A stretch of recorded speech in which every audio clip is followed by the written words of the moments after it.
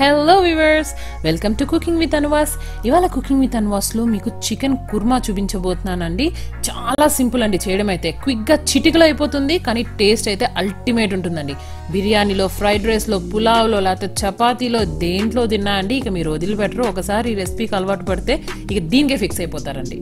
రెసిపీలోకి వెళ్ళబోయే ముందు అయితే please to subscribe my channel అండి. మీ సబ్స్క్రిప్షన్ అనేది నాకు చాలా valuable so please to subscribe my channel మరి ఇప్పుడు రెసిపీలోకి క్విక్గా వెళ్ళిపోదాం.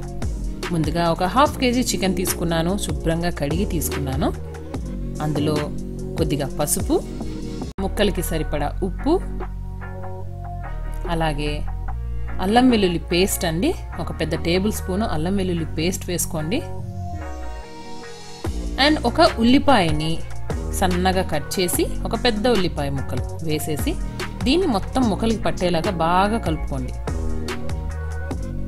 ఇలా కలుపుకున్న తర్వాత ఈ ముక్కల్ని ప్రెషర్ కుక్కర్లోకి తీసుకొని కొద్దిగా నీళ్ళండి. ఎక్కువ అవసరం లేదు. ఎందుకంటే చికెన్లో చిన్ని వచ్చిన నీళ్ళతోటే చాలా బాగా ఉడికిపోతుంది అనమాట సో కొద్దిగా నీళ్ళు పోసుకొని మూత పెట్టి ఒక మూడు విజిల్స్ వచ్చే వరకు ఉడికించుకోవాలి.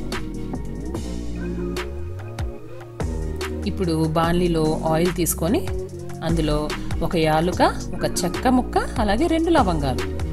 అవి వేసుకున్న తర్వాత అందులో సన్నగా తరిగినటువంటి ఉల్లిపాయ ఒక పెద్ద ఉల్లిపాయ వేసుకుంటే సరిపోతుంది. ఉల్లిపాయని కలుపుతూ మధ్య మధ్యలో బాగా ఎర్రగా వచ్చే వరకు వేయించుకోవాలి.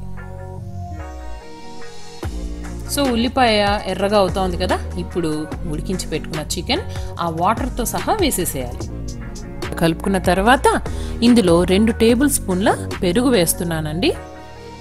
అలాగే రెండు పచ్చిమిర్చి చీలికలు అండ్ కరివేపాకు కూడా వేస్తున్నాను. ఎలాగో కారం వేస్తాం కాబట్టి పచ్చిమిర్చి రెండే వేశాను. దీన్ని చక్కగా కలిపేసుకొని మూత పెట్టి ఒక ఫైవ్ మినిట్స్ ఉడకనిద్దామండి. ఫైవ్ మినిట్స్ తర్వాత ఇప్పుడు మన రుచికి సరిపడా కారం అలాగే ఒక టీ స్పూన్ గరం మసాలా వేసుకోవాలి. దీన్ని ఇప్పుడు చక్కగా కలిపేసండి. మూత పెట్టాల్సిన అవసరం లేదు. ఓపెన్గా ఉంచి నూనె పైకి తేలే వరకు ఉడికించుకోవాలి. సో కాసేపటికి ఇలా నూనె పైకి తేలింది కదండి?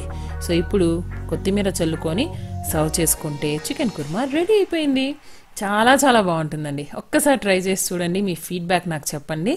అండ్ మీకు ఈ రెసిపీ నచ్చినట్లయితే తప్పకుండా లైక్ చేయండి షేర్ చేయండి అలాగే మా ఛానల్ని తప్పకుండా సబ్స్క్రైబ్ చేసుకోండి. Thanks for watching the video.